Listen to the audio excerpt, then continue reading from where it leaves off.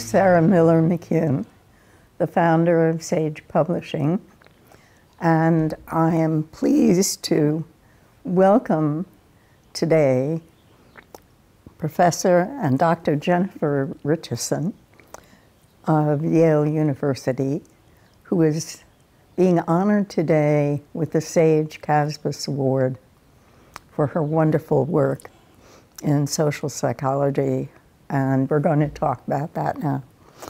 So, thank you so much, Sara. I was wondering, Jen, do you prefer Jen or Jen? Jen is fine, yes. Okay. I was wondering what drew you to, as an undergraduate at Brown, and then in, uh, and then into social psychology as you continued your studies at Harvard for a PhD. Yeah. Oh, wow. Taking taking me back. I mean, social psych is one of my favorite fields. Yes, so. yes mine too. so, um, you know, I it's it's it's actually an interesting and not a straightforward st- um, story. And I tell my students this all the time because they're all thinking they need to know exactly what they want to do, you know, when they start college. But um, I definitely didn't think about um, social psychology. I didn't know what social psychology was. I was actually a pre med and uh, neuroscience minor at the time. They didn't have a neuroscience major. Um, but I really cared about identity. Uh, intergroup relations, racism, sexism, um, inequality broadly in society. And so all of my extracurricular activities, well, not all of them, but many of them in college had to do with these questions of how do we make our country, our society, our world more peaceful, more just, more equitable. And I didn't realize until quite late in the game, actually, not until my junior year, um, when I took a class in the ed school, not in, in, the education department, not in the psychology department, called The Psychology of Race, Class, and Gender. And I had that, you know, Oprah aha moment that said, wait a minute, wait, you can study these topics, you know, that that's a science. There's a field, a discipline that, you know, works on these issues. And it just really changed everything for me. In fact, that wonderful professor, uh, Miller is her name. Um, she was also the first black female professor I had at uh, Brown and just really in every way stood for what was possible for me and in, and changed the trajectory of my career. So I just got hooked on it and she said, well, you can study these topics in counseling psych, clinical psych, or social psych. And by that point, I decided pre-med was not for me. Uh, well, medicine wasn't for me because I really didn't like blood and sick, sick people, sickness. Um, and so counseling and clinical sounded still a little bit too close to that. so I said, well, let me look into the social psych thing. And, um, and you know, the rest is history, literally. well, that's interesting yes. to know. Um, so could you talk a little more about being a young woman of color and how that um, affected your experience and your trajectory? And how do you think that varied from the experience of fellow students, um, both those who looked like you and those who didn't? Yes, yeah. I mean, you know, I have such and I think I had a, such an interesting set of experiences because I'm a, you know, well, at the time, young black woman. Um, I'm from Baltimore. Uh, I had gone to a predominantly black, all female high school, public school uh, in Baltimore, Western High School. and you know it was extraordinary. Again affirming every part of my identity. Um, certainly you know I, be- I believe fully in the promise and the power of a um, women's schools high school and even college because you know you really i had this the great opportunity to, you know, be in a space where women and girls ran everything, right? We were in charge of student government, in charge of all the clubs, in charge of the band, and, you know, and it was just a moment, you know, those four years where, you know, you, I mean, so formative that exiting it, we all, and I still am close to many of my classmates, we all left knowing that we could do anything as women. There were not limits, you know, that for, on us. And so going into college, of course, I went to Brown. It's very different, not predominantly black, not all female. um, I got exposed to levels of wealth I had never even knew existed, right? I mean, I, I found out that people summer, that that was a verb to summer. and, um, and that was, you know, new and exciting and terrifying in some ways, but you know, I was fortified by that experience in high school and, you know, knew that, okay, this is new, this is a, this is a challenge, but surely I, uh, I can rise to it. You know, surely uh, my preparation, even at a Baltimore City public school, um, is, is sufficient, if not, um, you know, I mean, it prepared me quite well, actually. Um, uh, for for my time at Brown, and and I wouldn't, yeah, I wouldn't trade it for anything. It was, it um, it was great. But it did allow me to see, you know, how I might operate at a place like Brown, you know, as one of few students of color that in ways that are different than, you know, some of my, you know, white classmates, right? I mean, I was in big lecture classes and the professor would know if I was not there. That's not the same for everyone, right? Um, and again, it really, um, reinforced my determination to learn about the experience of being one of few pick a category in a space that's dominated by you know some other. Um, and it really actually made me want to understand the commonalities that people have across different types of social identities we call them or you know groupings um, and to see how we could bridge them right? I mean that's really where my um, interest in understanding how we how we think about ourselves but also how we can bridge and reach out to other people. That really fundamentally began uh, at brown and of course was nurtured at brown. Right. That's very useful to know. I, I was wondering um, many undergraduates assume that their careers will have impact, and yours certainly has. But um, as this, you know, award and the many others that you've received so far uh, attest, but how has your life after graduation stacked up to your expectations when you were in college? Oh, wow. Um, I couldn't have imagined this any of this quite honestly. I didn't. I, I, obviously expected to go to college. I expected to graduate. I expected to, you know, get a job somewhere. Probably I would come back home to Maryland. You know, I wasn't thinking of myself as going into the academy at all. It wasn't something that was an obvious next step. No one in my family um, at the time had a PhD, and certainly they weren't college professors. Um, and again, that one class changed my trajectory, and so I went to graduate school and then um, got my PhD. And honestly, I expected, I expected, but part of me thought, okay, I will get this training and use it maybe at a nonprofit helping them do their good works better with some evidence base. You know, again, thinking that social psychology is for doing the work to make society better. And honestly, it's you know that moment where I applied for faculty jobs and you know got a couple offers, and I said, you know, I have an opportunity to be someone else's Fayneese Miller. You know, I have an opportunity to be in that room as a professor teaching this content and maybe inspiring somebody like me who hadn't even thought about becoming a professor to do it. I should give it a go. And that's really why I took the, a job in, as a, a, professor. I mean, I love doing my research. I mean, I, you know, I actually really like teaching. Um, but I said I just owe it, almost, you know, paying it forward in some way. And I figured if I didn't get tenure, didn't work out, that's okay. I could get another job. I'll be fine. and it's just kind of worked out.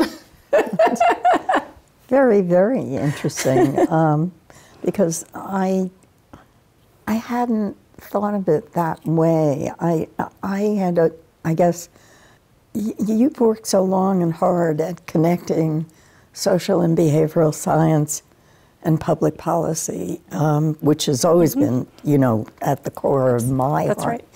And I was wondering what led you to ignore the notion held by many academics um, to, to be a scholar, which you've just explained, rather than working in, say, government or public policy making or business. Never even thought of you as thinking about the nonprofit world. But that's so now you've. Uh, you've opened up a whole other series of questions that I haven't thought about asking you about.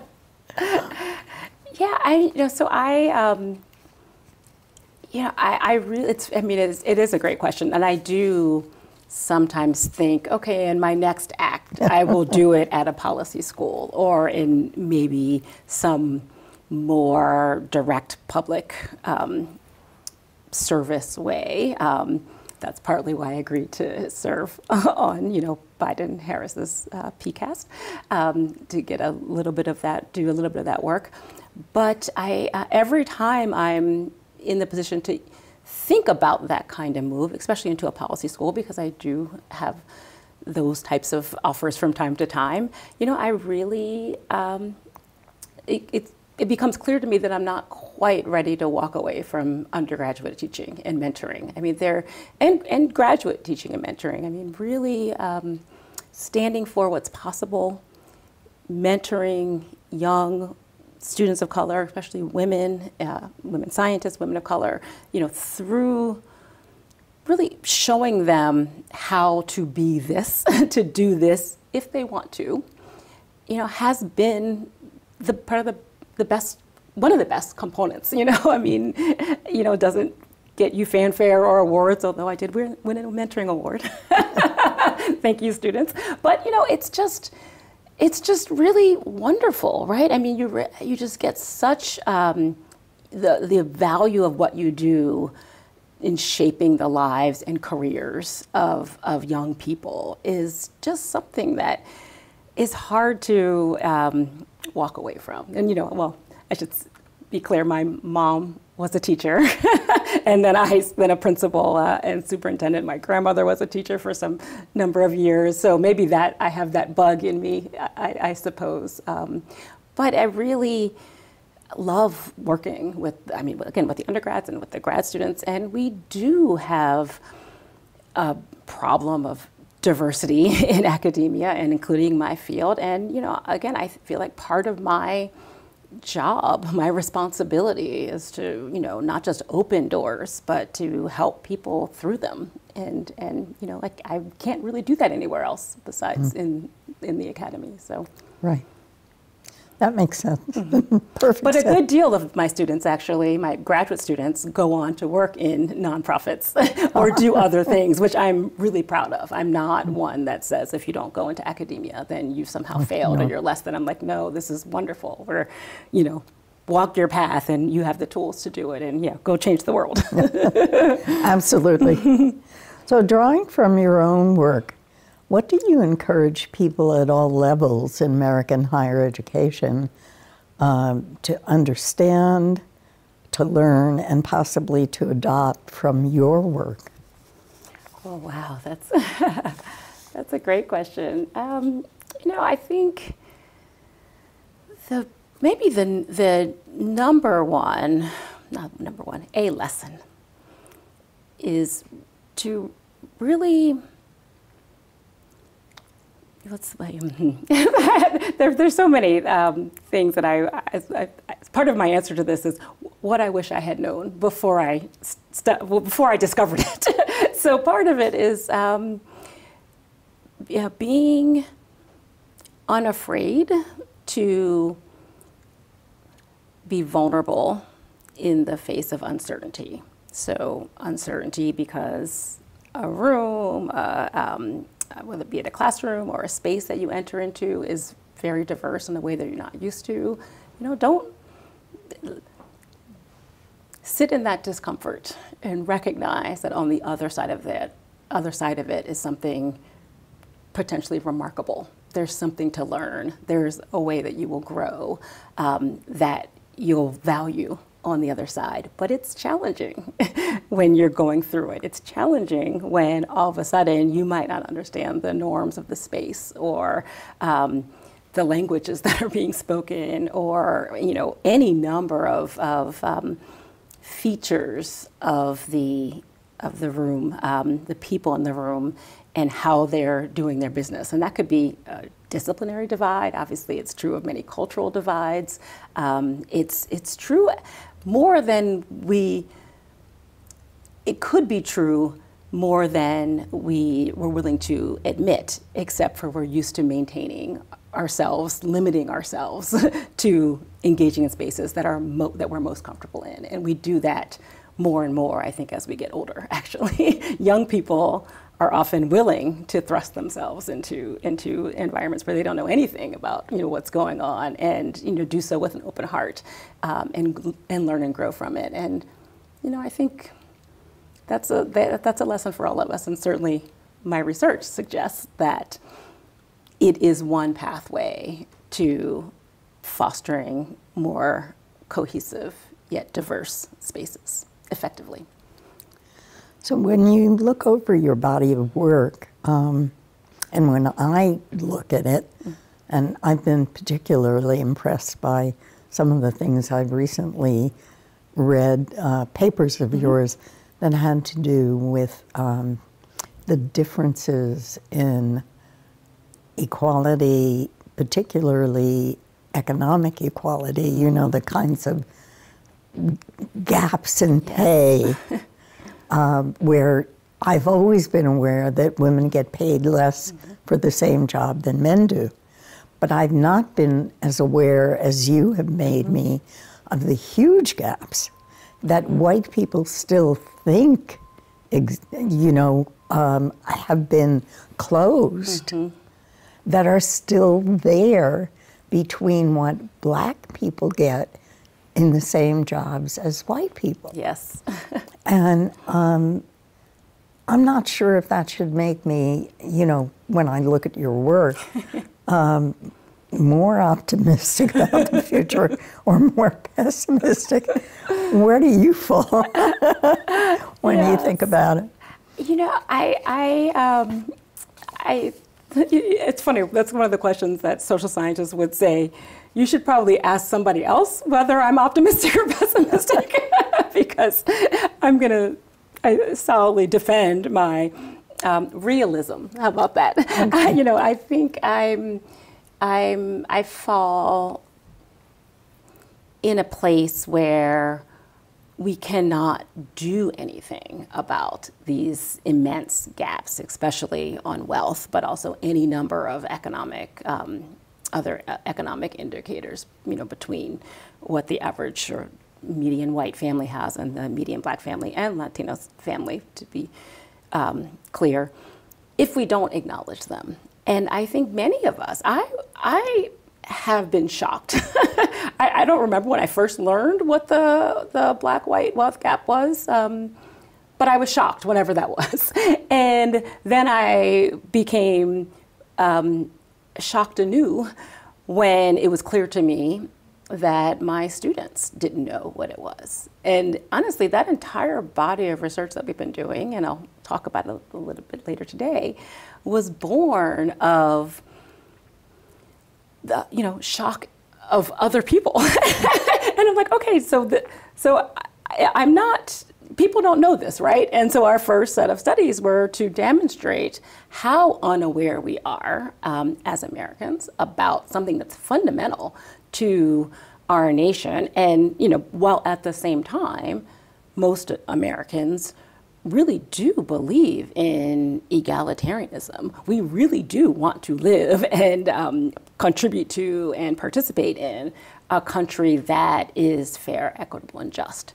And in the you know the distance between those two beliefs, right, is um, is wide. And so, you know, what can we do as social scientists, especially as psychologists, to you know peel away, I guess, the layers of denial, um, you know, some of it motivated uh, to really make us first face and then come to terms with what is so in order to change it, to do what we can to, to make our country into the one that we think it is.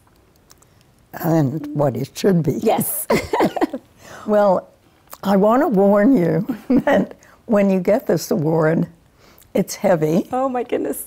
so um, take a try and remember not to drop it. Okay, thank you and so much. it will come along with the check.